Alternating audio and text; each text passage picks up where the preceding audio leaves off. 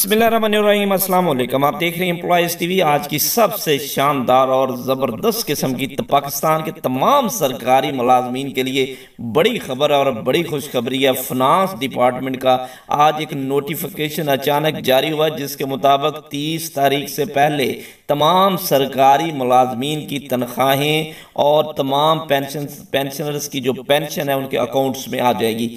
जी इस हवाले से बताता चलूँ कि जनाब यकम जनवरी को 31 दिसंबर को हफ़्ता होगा और हफ़्ते वाले दिन तमाम बैंक बंद होते हैं। और इसके अलावा यकम जनवरी 2023 की बात करें तो इतवार होगा। इतवार को गजटेड छुट्टी होती है।